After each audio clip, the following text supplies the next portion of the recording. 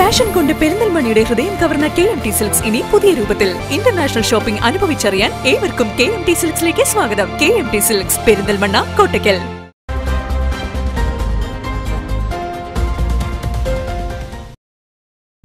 Cherpulassery നഗരസഭയിൽ Covid വർദ്ധിക്കാനുള്ള കാരണം നഗരസഭയുടെ ജാഗ്രത കുറവാണെന്ന് U D F councillor K M Ishaq.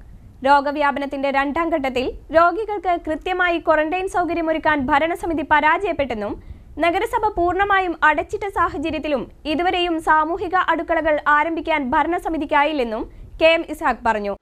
ചെർപ്പളശ്ശേരിയിൽ ഒരു കാലത്തുമില്ലാത്ത വിധത്തിൽ ആണ് പിന്നെ കോവിഡ് പ്രതിരോധ പ്രവർത്തനങ്ങളിൽ ഉള്ള പിന്നെ ചില വീഴ്ചകൾ സംഭവിച്ചിട്ടുണ്ട്.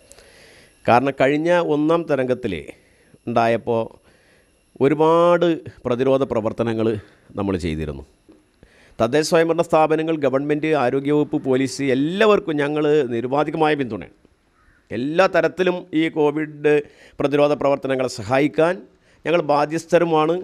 ഞങ്ങൾക്ക് അതിനുള്ള ഉത്തരവാദിത്വമുണ്ട്. ഞങ്ങൾ നിറവേറ്റുകയും ചെയ്യും. പക്ഷേ ഇതിന്റെ പോരായ്മകൾ പിന്നെ ഒന്ന് രണ്ടെണ്ണം ചൂണ്ടിക്കാണിക്കാതിരിക്കാൻ നിർവാഹമല്ല. കാരണം ഈ ഇത് രൂക്ഷമായി തുടങ്ങുന്ന സമയത്ത് തന്നെ ഞങ്ങൾ കൗൺസിലിൽ അതിനപ്പുറത്ത് പുറത്തും ഇതിന് നിരവധി യുവജന സംഘടനകളും ഒക്കെ ആവശ്യപ്പെട്ടതാണ്. വ്യക്തമായി കൃത്യമായി ഇവരെ ക്വാറന്റൈൻ ചെയ്യണം. പോസിറ്റീവായ രോഗികളെ ക്വാറന്റൈൻ ചെയ്യണം. ഇപ്പോൾ ഒരു വീട്ടിൽ ആറ് പേരുണ്ട്. ഒരാൾ പോസിറ്റീവായി. ഈ ആറാളെ ഇടയിൽ കൈയാൾ വിടുന്നത് ആ വീട്ടിലുള്ളവർ മുഴുവൻ ഒരാഴ്ച കഴിയുമ്പോഴേക്ക് പോസിറ്റീവ് ആകുന്ന സ്ഥിതി ഉണ്ടായി അങ്ങനെ പോസിറ്റീവ് ആകുന്നവരുടെ എണ്ണം വർദ്ധിച്ചു.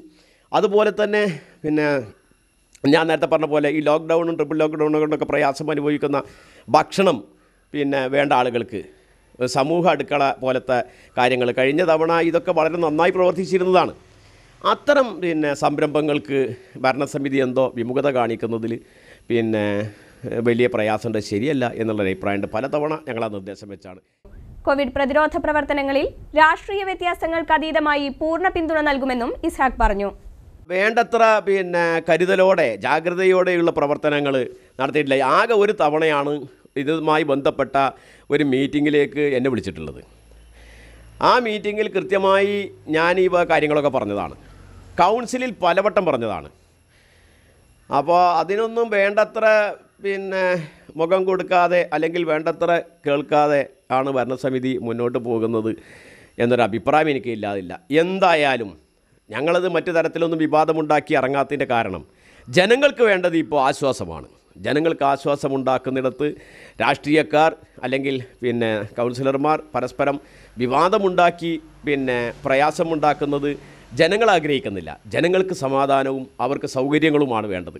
ആ നിലയിലുള്ള പ്രവർത്തനങ്ങളിൽ ഞങ്ങൾ നിരുപാധികം ഞാൻ നേരത്തെ പറഞ്ഞത് ഒരിക്കൽ കൂടി ആവർത്തിക്കുന്നു. തദ്ദേശ സ്വയംഭരണ സ്ഥാപനത്തിന് ഗവൺമെന്റിന് ഉദ്യോഗസ്ഥന്മാർക്ക് എല്ലാവർക്കും പിന്തുണ ഉണ്ടാവും. ഒരു സംശയക്കാര്യത്തിൽ വേണ്ട.